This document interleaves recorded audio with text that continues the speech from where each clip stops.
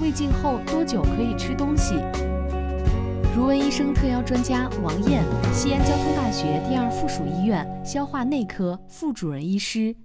普通胃镜在做完以后两小时可以喝点温水，可以吃流食、半流食。因为我们胃镜的时候呢，要吃口服的麻药。嗯，如果进食进水过早了，这个麻药的药效还没有过去，可能会引起呛咳。如果是无痛胃镜，比如患者打麻药睡着了做的这种无痛胃镜，那我们建议的话，进食时间会长一些，三到四小时以后再进食。如果呢，患者呢是在胃镜过程中取活检了，我们加取活检化验了，饮食进食时间呢再长一些，是四到六小时以后再喝温水、吃流食、半流食。还有一种情况，在做胃镜以后呢，发现胃部有息肉，可能直接进行治疗了。这个时候呢，根据息肉的大小，呃，一般呢是进食二十四到四十八小时，然后呢再开始呃进食流食，就是我们说的稀饭，一般会喝上一两天，再变成半流食，像稠一点的稀饭呀，或者软的龙须面这种半流食再过渡。特别是做过活检和取过息肉的患者呢，我们进食同时呢还要注意，就是一旦开始喝水了，